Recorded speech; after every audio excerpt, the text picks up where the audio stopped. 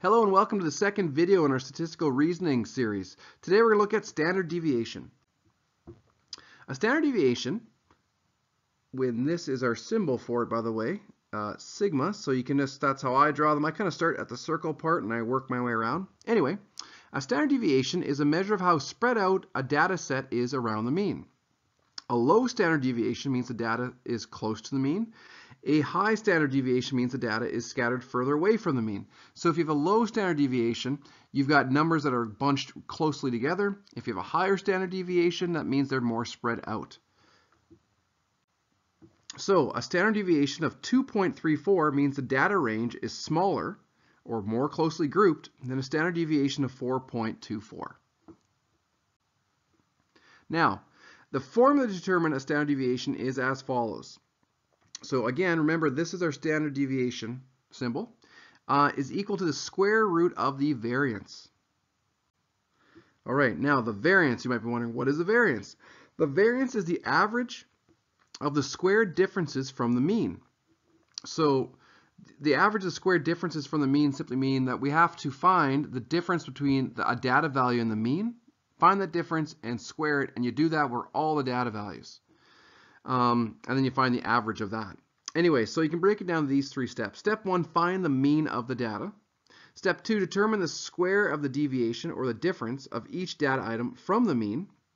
And then step three, we find the mean of the squares of this of these deviations. Now, uh, a little kind of extra fact here. What I'm talking about here in this lesson is population standard deviation. Just in general, I'm using population. There's another one called sample so I'll put that over there. And sample is done very similar. Um, the only difference is we divide by n minus 1 when we get to uh, this step here. So what we're going to look at though is population. And when you go on in um, a college or university course, you may get into uh, more statistics. They might talk about population versus sample standard deviations. Anyway, back to this. I just felt like I had to kind of clue in on that. Um, so finally, so to calculate standard deviation, we can use the following formula, and I got it right here, um, that standard deviation is equal to the square root of the sum of those, or sorry, of the average of those uh, deviations. Now, you don't have to actually find it by hand often. We're just going to do one example just so you can see where it comes from because we're going to use a calculator. The calculator is much quicker.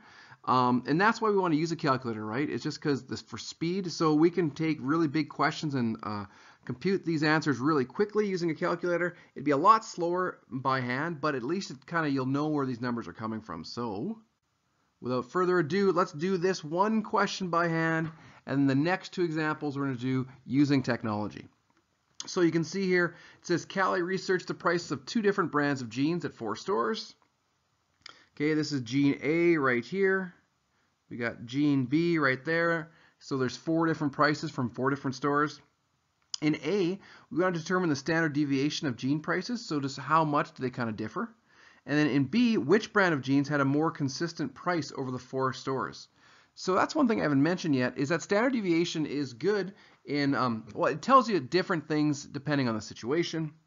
But one thing it can tell you in most situations is, is just how consistent uh, the data values are. So, um, and what I mean by that is that if the data values are really close together, they'd be quite consistent. Meaning, if these prices are pretty much the same price each time, it'd be you'd think it's a consistent price, and their standard deviation will be super low, and it will reflect that.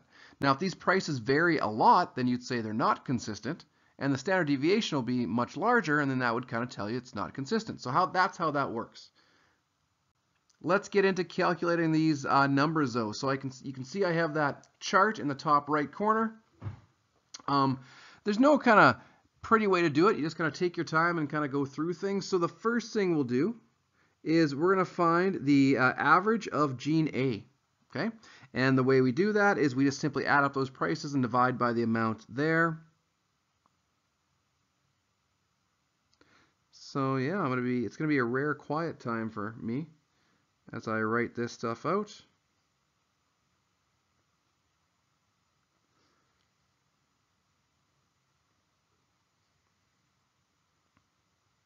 And then now divide it. There is four of them. So what I got was uh, 45.87. Okay, so that is my average for jean A. The next part, what we have to do is we got to take each data value, so each jean price, compare it to this average, and find the difference between them. Once we find that, what we'll end up doing do is what we'll end up doing is squaring that number. Okay, so what am I talking about? Well, I'm gonna go always my larger number first. So 45.99. Where am I getting that from? I'm getting that right from here, that first data value, everybody. I'm going to subtract my average. And what I get is a difference, and it's 0.12. What I will always do then, I'm going to square this. So I guess I could have written that up here too, right? But that would have been confusing if I would have written, it then. But the way this formula works is I always square it. And then now I get 0.0144. And I'm going to save that number. So what I'm going to do is I'm going to do that for the next three as well and then I'm going to take all four of those numbers and find the average of that. So that is what you can look forward to, everybody. Okay, again, I said I'm going to always put the larger number first. So 46.49 subtract my average. We know now that we're going to be squaring that. So once I do that subtraction, I get 0.3844. And I want to square that.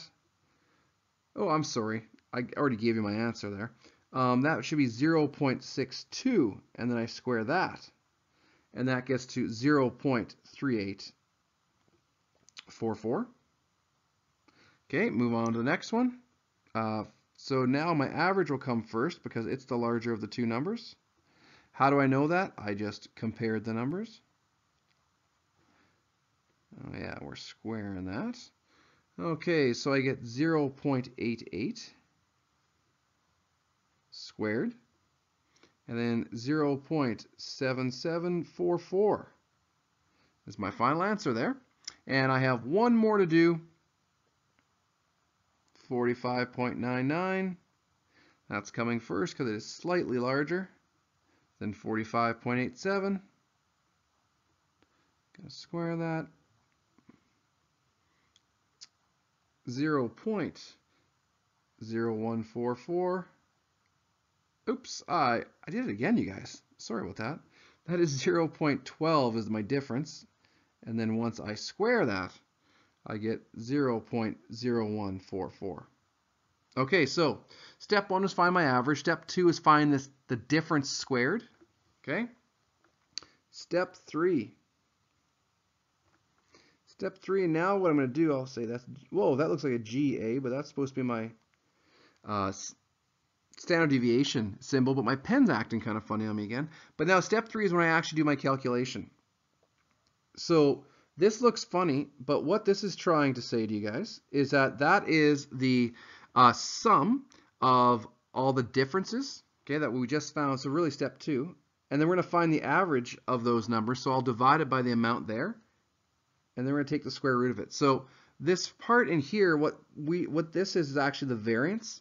So we're going to calculate the variance, then take the square root of it. So I go 0 0.0144 plus 0 0.3844 plus 0 0.7744 plus 0 0.0144. Okay. Now why am I doing that? Because it says, let me just get a different color. Right here it says that that sideways, I guess I'll say 3. It's a Greek letter. It means it's the summation, so to add these things up. So we want to add all those differences squared, so that's why I'm adding those things up. then I'm going to divide by the amount there are. That's what n's meaning, so that's 4. Oops, I just wrote n again. That's 4. And then I'll take the square root of that. Okay, so that number ends up being 0.2969. So when I add all those things, so when I add all those numbers up and divide them by 4, I get 0.2969. And then when I take the square root of that, I end up getting 0.54. And that is my standard deviation for this first set of numbers. All right? So we got our first answer, 0.54. Now let's look at the next one. And I'm going to write the 0.54 right here. and I guess uh, standard deviation of A. Again, sorry, I'm making those look like G's. Okay, so we do the exact same thing, everybody. Step one, the mean. So I'm just going to add up all those numbers. 46.59. Here's the nice thing, everybody. You, I'm, I'm not, I doubt I'm having trouble speaking. Okay, in my class, I'm not going to make you uh, find the standard deviation by hand on an exam. You'll have to do it in your assignment, maybe, maybe on an in class or a chapter check, but not on your uh, not on your test. So take a little bit of pressure off. And then for the video, this is the last time we're doing it by hand. Then we're, we're going to use technology next. Um, and there's varying types of technology you can use. But anyway, they're really quick to work through. So back to my question. I'm adding up all my prices. So where did I get those numbers from? I got those numbers from right over here, everybody, okay? So just in case, so we're on the same page, so I'll put a little b there. This is the average of b. Okay, so um, the average ends up being 45.72. Okay, next step. I'm going to compare all those jean prices to my average, find the difference between them, and then square that difference.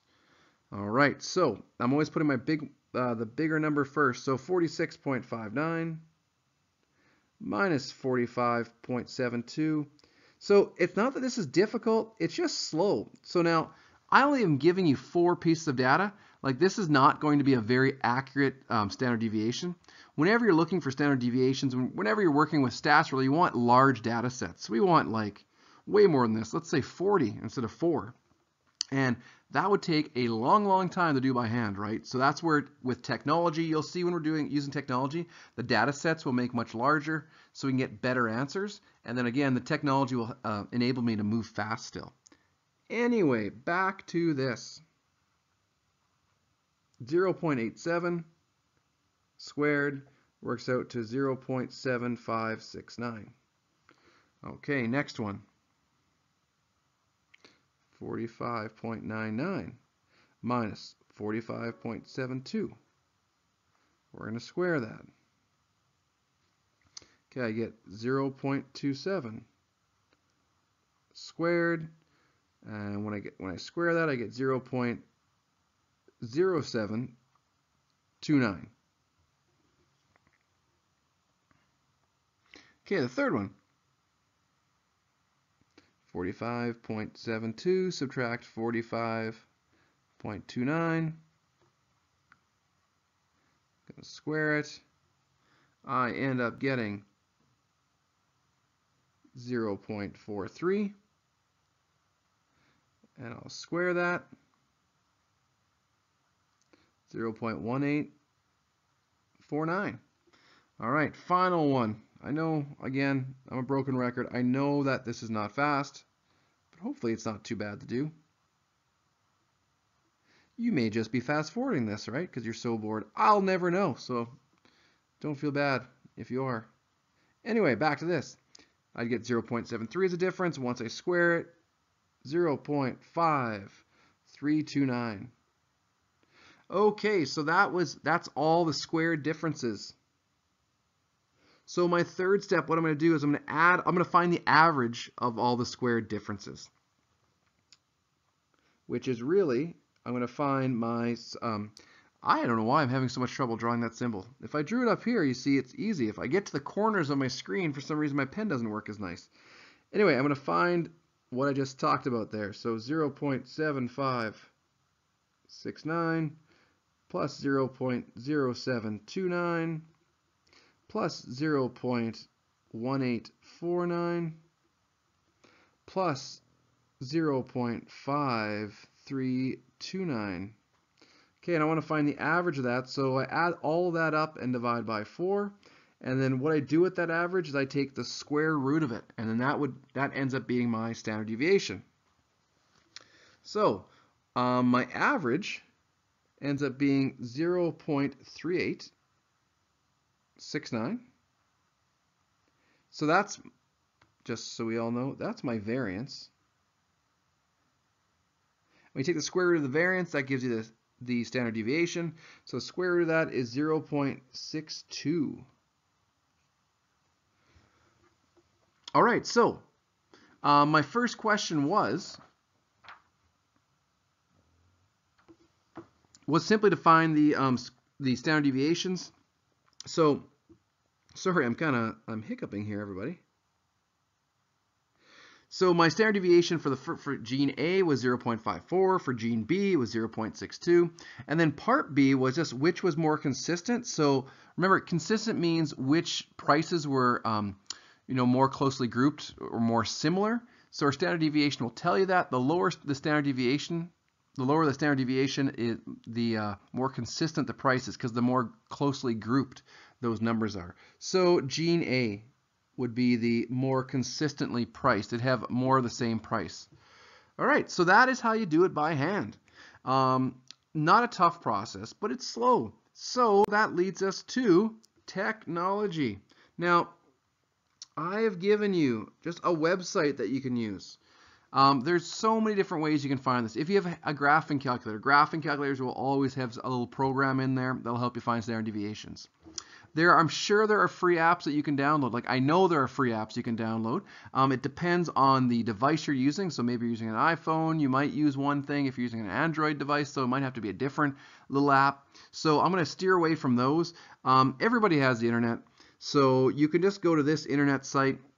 Nothing pretty about this site, everybody, but it works.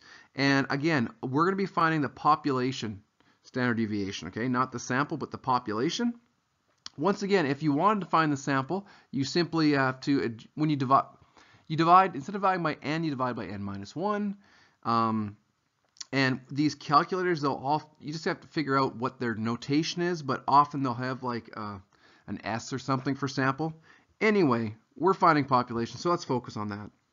Um, what you do now, so it says three groups of students record the numbers of books and uh, read for literacy fundraiser. So on this easy calculation website, all you'll have to do is enter these groups of numbers one at a time. So just separated by a comma, I'd enter this, and then I'd hit calculate. And it's just going to spit out the number for me. So it says determine the mean and standard devi deviation for each group. I'll stay with the red. So I'll go, you know, X bar subs or subscript 1. I'm having trouble speaking. Um, anyway, that simply means the average of group 1. And the average ends up being, once you plug all this in, just 11.1.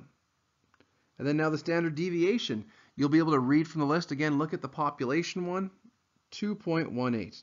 And it's going to be that easy, you guys. Then clear out that list, go type in the next list. Again, don't put a space or anything, just a comma. So the second average ends up being 9.89. And the second standard deviation ends up being 1.45. Now I'm just rounding these off to two decimal places. It says nearest tenth though, so why don't I adjust my numbers?